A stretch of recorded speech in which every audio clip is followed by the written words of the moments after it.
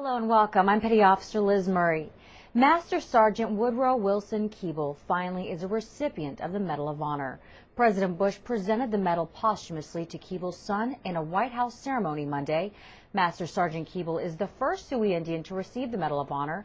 He could have received his award while he was alive, but a series of clerical errors resulted in an unfortunate delay.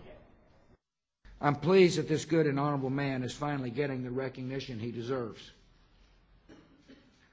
But on behalf of our grateful nation, I deeply regret that this tribute comes decades too late. Woody will never hold this medal in his hands or wear it on his uniform. He will never hear a president thank him for his heroism. He will never stand here to see the pride of his friends and loved ones as I see in their eyes now. But there are some things we can still do for him. We can tell his story, and we can honor his memory.